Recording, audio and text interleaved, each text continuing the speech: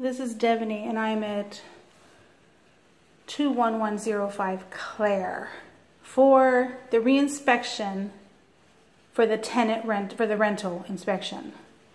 And I am beyond annoyed right now.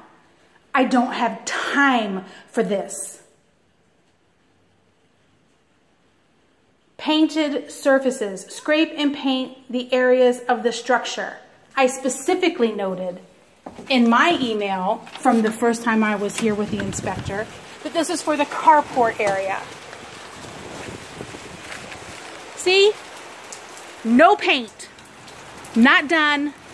Not in compliance. They were to repair the light fixture.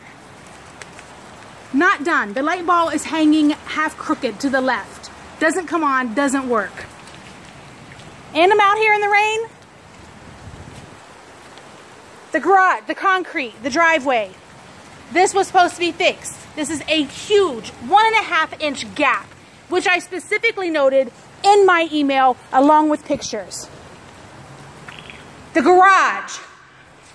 Freaking black mold all over the place. It's raining today. It's raining into the garage. This is about to fall in. Not fixed. Not in compliance. Have to come back.